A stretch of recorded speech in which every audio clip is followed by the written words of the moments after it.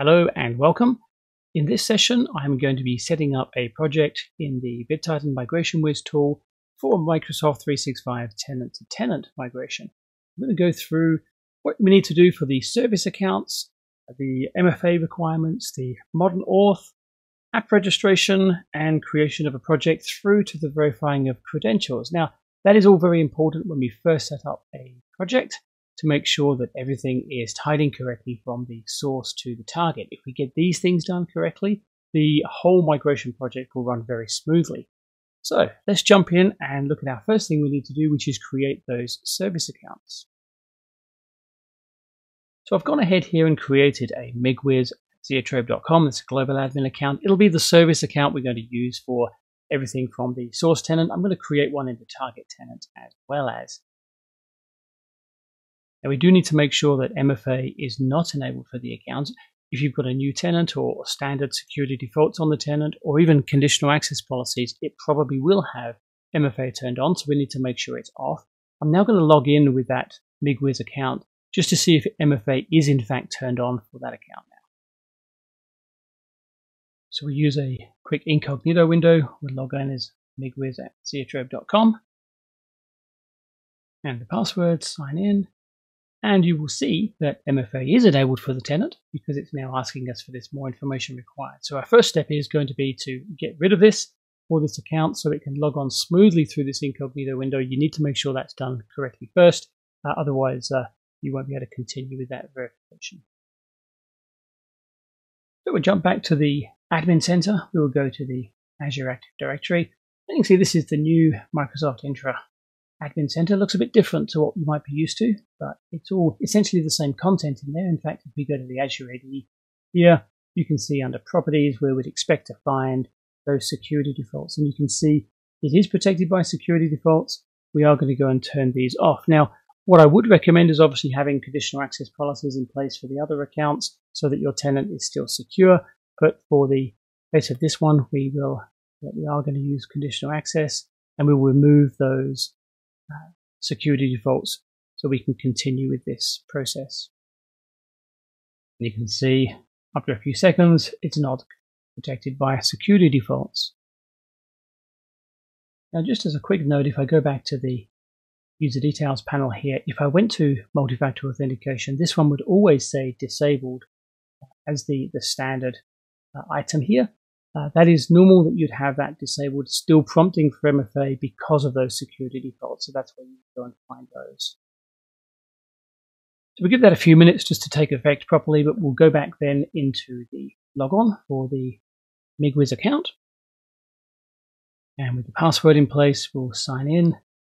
And you can see there now, it's bypassing that MFA registration. So this account does not have MFA on it, which is exactly what we need. So we can close out of this. And now we need to go ahead and do the app registration, which is really where that modern auth tie-in for the Migration Wizard project comes in. So how we go about doing that is we jump into the Azure Active Directory again, and we need to go down to the applications here on the left-hand side, and we want to go to app registrations. And this will show us all the app registrations we have for the tenant. We're going to go and create a brand new one We'll give it a name here. We'll just call it MigrationWiz. We leave this top one selected. We only want that for the Zeotrope only. And we do need to set a redirect URI. So we'll set it up as public client native. Now, this entry here, we cut and paste out of the help desk article, which you'll find on the BitTitan site. So if you do the project setup uh, details in the help center, it will give you this. I'm going to paste it in so you can see what it is anyway, which is this here. But once we've done that, we'll hit register and that will create that application for us. Now, while we get this screen up, I will want to capture the client ID and the tenant ID out of here. We're going to need those a little bit later when we put those into the MigrationWiz project. I'm going to grab the whole thing and drop that into there. And likewise for this guy as well.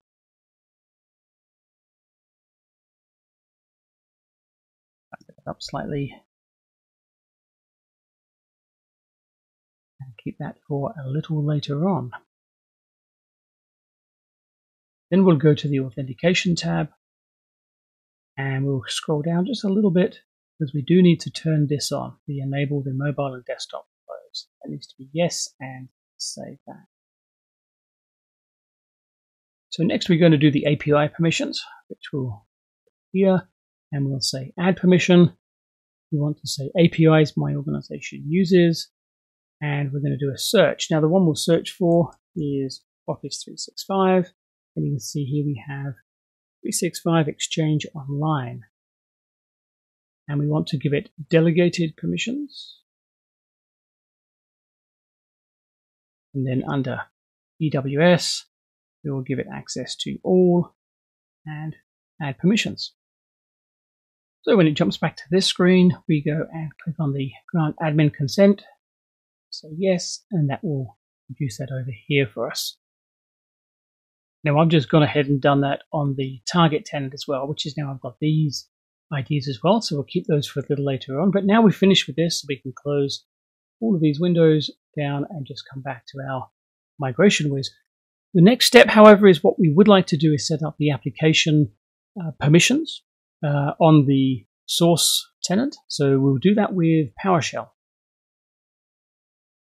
Now this step just means that the MigrationWiz service account can have the impersonation rights on all of the source mailboxes to enable that migration to occur. So the, the easiest way to do that is inside PowerShell. And what we do is we connect to the Exchange Online, like so.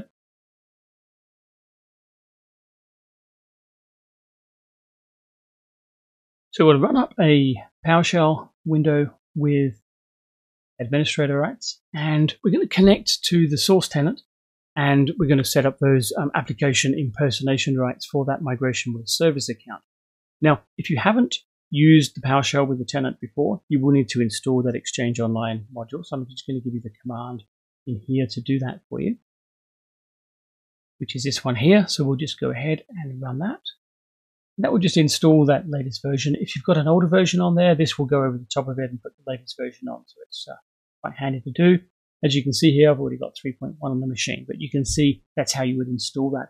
Then what we do is we do a connect exchange online, and that will ask us to log in to that source tenant. I'll go in with my normal admin account for that one. Now, password that will then connect into the tenant, like so. If you've already done a similar thing in like this in the tenant before, you may already have the organization customization turned on, but that's the one you want to be turning on. Done that. That's probably going to come back and tell me that it's already been done. And as you can see, that is that's operation not required, already enabled. So, so that is good to go there. But now what we'll do is we'll create the new role assignment for the MigrationWiz service account. And we do that with this command here. Now, all of these commands are kept in the Help Center articles on the BitTitan website. So you can go and pick those up or you can just review it from here. But what we'll do here is we just grab that, run that command, and that will create that for us. And you can see it's made that direct assignment in there for us. And that is basically all we need to do. We can close that out and we are done with that. Let's now create this project for this migration. So we'll go create project here and it will be a standard mailbox project. So we'll give it a name, like so, and it is a new customer. We'll fill in the basic details here. These are all optional. You don't need to put those in if you don't want to, but we hit save on that and hit our next step, which will give us the endpoint. Now, this is the important one we set up for the uh, source account, which will say new for the endpoint, and we'll give it a name. It's called Calling that Zeotrope 365 tenant, we'll select the endpoint type as being standard Microsoft 365. And this is where we'd say, yes, we do want to provide credentials, and we'll give it that username and password. This is that MigrationWiz service account that we set up earlier.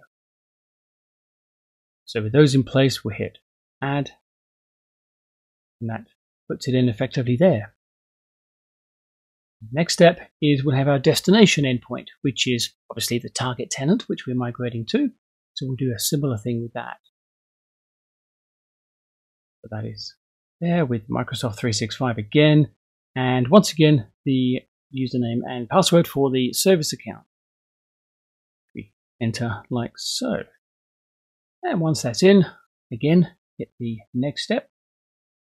We're not going to be enabling coexistence on this one. We don't need to uh, worry about that. We will save and go to our summary.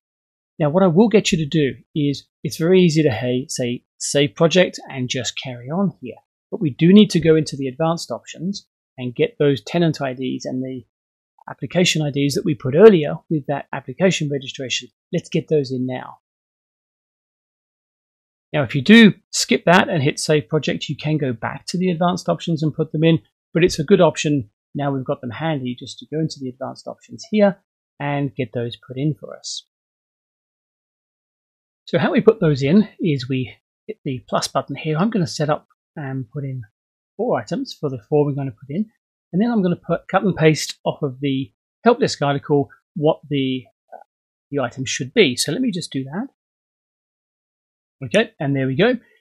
It's important that the uh, syntax is absolutely correct on these, and that's why I choose to cut and paste them out of the article because it means they are absolutely correct. But you can see here that the export is going to be the source tenant and the import will be the target tenant. So I'm going to grab those items.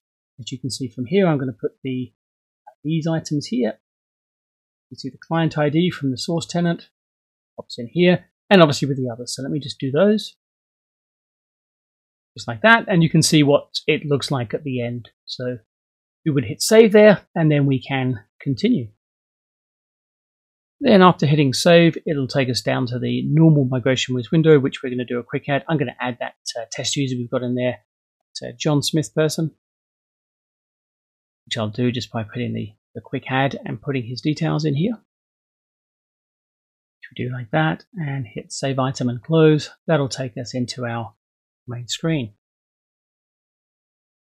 So our first step to make sure everything is done correctly with this migration so we can then continue is we select our user here and we will say start and we're going to do a verify credentials. And that will go and make sure that everything we've done with the modern auth setup and the application impersonation and the credentials for the service accounts and everything is all tied together nicely and that the migration will in fact work. We hit OK on that, it says submitted and we will come back and see what that's done in a few minutes time. So after a quick refresh, we can see that that has completed its verification. Uh, that will be good for not just that account, but any other account. We're testing the modern auth and the application permissions that we put on there. Uh, everything looks to be correct, so we can continue with our migration.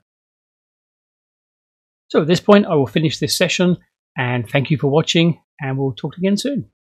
Bye.